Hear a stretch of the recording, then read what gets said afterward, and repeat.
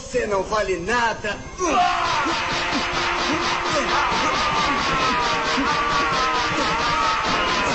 Vamos, isso mesmo, dá Goku, vamos!